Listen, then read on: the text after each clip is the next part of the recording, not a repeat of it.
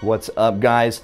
Jeff Easterling here from 343 Industries, uh, but we're nowhere near Seattle. We're actually down just outside of Atlanta here at Blue Whale Studios to give you guys an inside look at some of the initial behind the scenes development of Halo Outpost Discovery. We've got a lot of cool stuff to show you guys.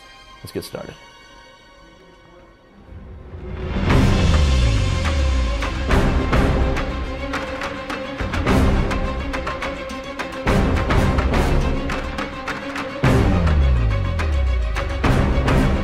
So this right here is we are in uh, what they affectionately call the lab, uh, and let me tell you, there is some awesome stuff going on, uh, and I can't wait to show you guys. Let's check some of it out.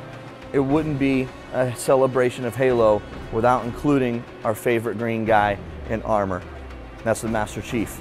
Now, this might not be the most iconic pose or perspective of our hero, but then again, he's also not green yet. This thing is going to be a life-size statue that you can visit at Outpost Discovery. It's, it's ridiculous. Like, makes you feel like a kid or a short person, of which I am kind of both.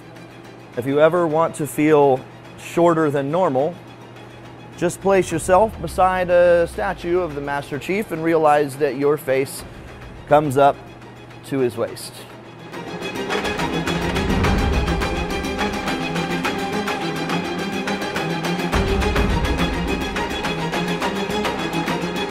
As my attire probably belies, uh, this is maybe my favorite part of this whole entire thing. Well, not just Matt, he's one of my favorite parts as well, but I specifically mean this full-size elite statue that we're gonna have.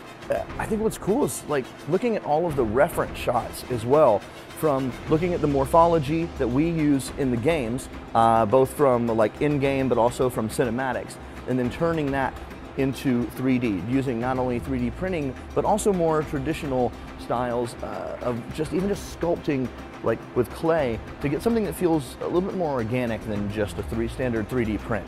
Just seeing the head, like, and then imagining the rest of the body, I can't wait. It's gonna be awesome. So we just saw the head of the Elite. Joan over here is working on the hand. And we've just built up the forms um, so you you know you get this really kind of fun, creepy. It is giant it's hand. Amazing. Looks su- we, like super organic.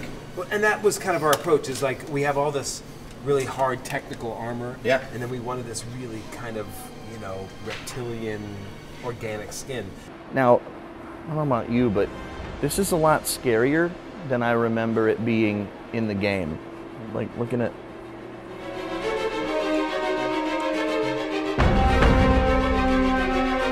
make sure you get out there and, and check out the work that, uh, that these guys are doing. Thank you guys for hanging out and watching, and we'll be showing you uh, some more stuff very soon.